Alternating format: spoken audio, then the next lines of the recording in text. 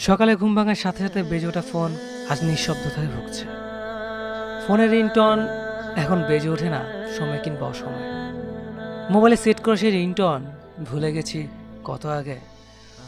মোবাইলে আগের মতো ব্যালেন্সের দরকার পড়ে না।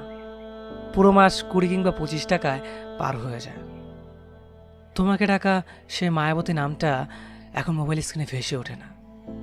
অনেকবার কল দিয়েছিলাম তোমার নাম্বারে। কেউ যেন বলে ওঠে, আপনার ডায়ালকৃত নাম্বার এই মুহূর্তে বন্ধ আছে। শুধু একটি বার চেয়েছিলাম কথা বলতে, তবে পারিনি। প্রত্যেকবার নিরাশ হয়েছে। এখন ফোন বুক থেকে মুছে গেছে আমার ডাকা সেই মায়াবতী নামের নাম্বারটি।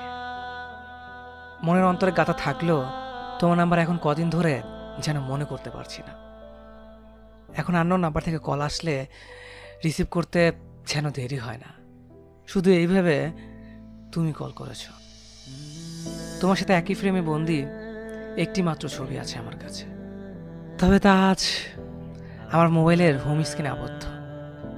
কথা বলি সেই আবদ্ধ ছবিটার সাথে, তবে তার মুখের কোনো কথা আমার কানে পৌঁছায় না।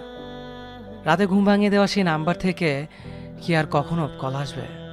অপেক্ষায় আছি, শুধু একটিবার তোমার সেই মুচকি হাসির ঠোঁট দিয়ে হ্যালো শুনব বলে।